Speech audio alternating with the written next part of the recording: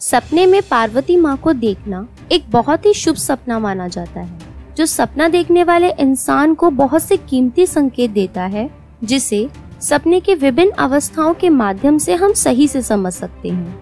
जैसे, अगर आप सपने में पार्वती माँ को देखते हैं तो ये सपना आपको बहुत ही शुभ संकेत देता है कि आपके शिक्षा या बिज़नेस जिस भी क्षेत्र में आप कार्यरत हैं, आपको उसमें सफलता मिलने वाली है। यानी ये सपना आपके किए हुए प्रयासों की सफलता की ओर इशारा करता है।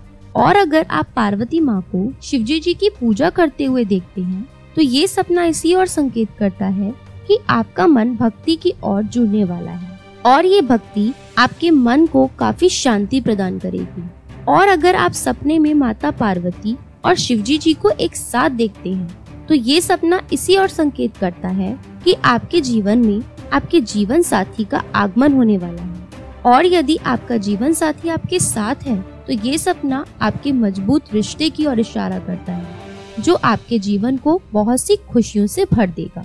और यदि आप सपने में पार्वती माता की मूर्ति को देखते हैं तो ये सपना इसी और संकेत करता है कि आपके जीवन में सफलता के नए रास्ते खुलने वाले हैं।